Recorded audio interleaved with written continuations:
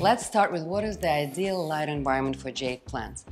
Very bright light. Sun exposure is much appreciated by jade plants. East-west sun exposure are great. Sun also adds red or purple color to its leaves.